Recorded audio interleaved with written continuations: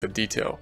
So for now, we're going to put something in here that's too simplified. It's wrong because it's too simplified because we don't, we're not going to look for all the data because if we do, if I start pulling up, up numbers that don't tie out to this number, then it's going to mess things up. Why don't I want to dig into it and tie out to it now? Because that'll make it more complicated here to figure out if we're in balance.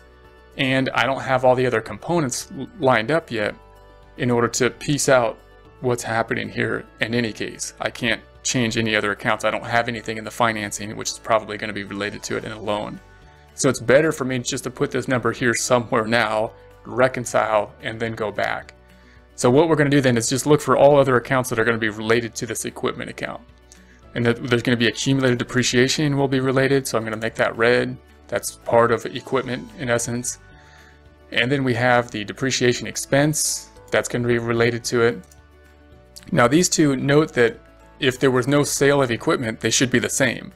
So I can just include those two here and they'll cancel each other out.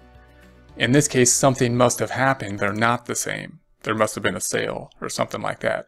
So we're going to net those two things out here in the same account and then we'll compensate for that once we dig down on the journal entry.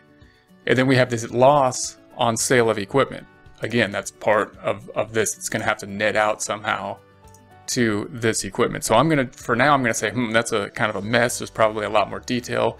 Luckily, there shouldn't be too many pieces of equipment sold because we don't, it's not like looking into the GL of, of cash where there's going to be a ton of activity. We're not buying equipment every day, hopefully. So it should be fairly easy for us to, to figure out a few journal entries and then break that out. But for now, we're just going to lump that into an account and I'm going to call it uh, cash paid for purchase of equipment. And we're just going to use the same process we had up here. I'm just going to say negative of this minus this minus this minus this.